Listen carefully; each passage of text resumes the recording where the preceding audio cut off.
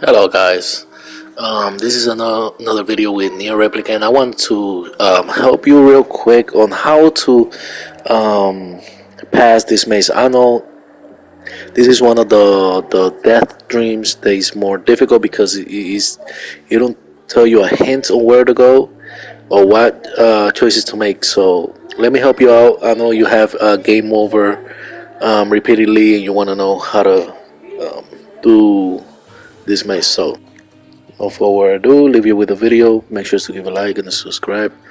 Now let's get to it.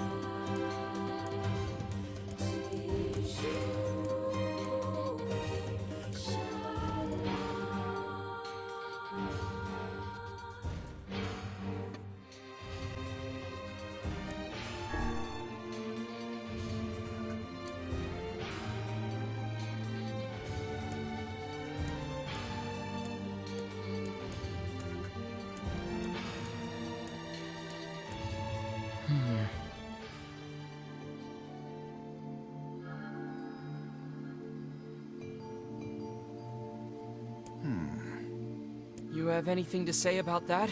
Ah, hopefully there will be no labyrinth next time. I hear that.